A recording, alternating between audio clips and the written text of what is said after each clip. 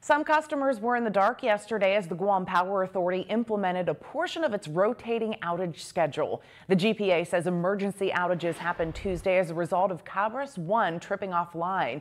Plant personnel worked diligently to restore service. It was fixed and island-wide power was restored last night.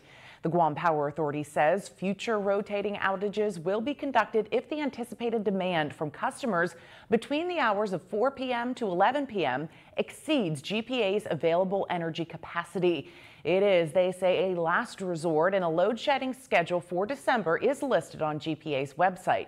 As GPA works to minimize or avoid load shedding, it's asking customers to implement conservation measures like turning off water heaters and limiting full usage of air conditioning at homes and offices, which they say reduces the demand for energy and can mitigate the need for those rotating scheduled outages.